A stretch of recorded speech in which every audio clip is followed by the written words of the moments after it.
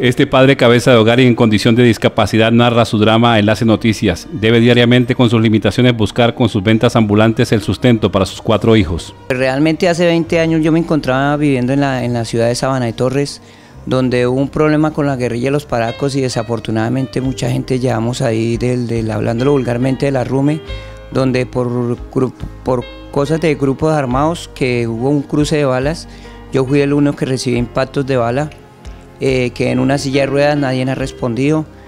Eh, llevo ahorita completo 26 años de estar discapacitado. Esta situación me ha tocado a mí como vendiendo en los semáforos, vendiendo diferentes cosas, por lo menos he vendido limones, he vendido galletas, he vendido gomas, he vendido pasabocas, he vendido una cosa, he vendido otra.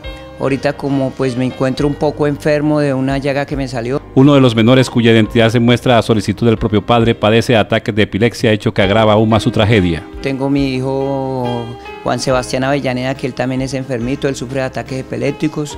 Muchas veces me toca ir a la ciudad de Bucaramanga a buscar exámenes que le mandan tomar a él y me toca ahí prácticamente pedir limona para poderme dirigir allá porque yo no tengo recursos de ninguna parte. Mamá de los niños por cosas del destino hace siete años, ahorita empezamos para ocho años de que realmente ella se enamoró de otra persona y dejó los niños abandonados y se fue y de ahí para acá me ha tocado a mí solo luchar con ellos.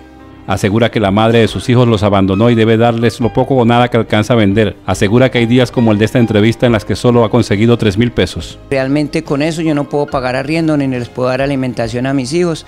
Los uniformes, ahorita los libros, que inclusive la plata que tengo no, no sé qué hacer porque sea la poquita maraña porque no es que tenga demasiada, tengo 3 mil pesos y realmente con esos 3 mil pesos, ¿qué va a hacer eso? Comprar hoy en día acá en Barranca Bermeja, comprar una panela y darles agua panela, porque qué más.